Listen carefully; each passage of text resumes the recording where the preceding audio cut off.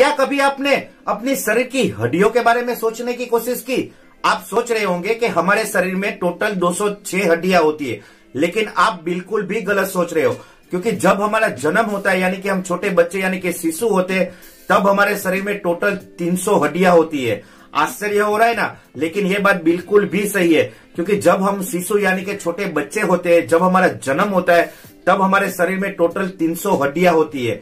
लेकिन जैसे ही हम बड़े होने लगते हैं, वैसे ही ये हड्डियाँ 300 में से 206 ही रह जाती है। ये इसीलिए ऐसा होता है कि जब हमारा जन्म होता है, यानी कि जब हम छोटे बच्चे, यानी कि शिशु होते हैं, तब हमारी शरीर की जो हड्डियाँ होती है, वो बहुत नाजुक और कमज़ोर होती है। और समय जाने के बाद, यानी कि जब हम बड़े होने लगते तो ये हड्डियाँ आपस में जुड़ने लगती हमारा चेहरा है, उसमें टोटल चौदह हड्डियाँ होती है। हमारे पैरों में टोटल छब्बीस हड्डियाँ होती है जिसे हमें खड़े होने में और दौड़ने में मदद मिलती है।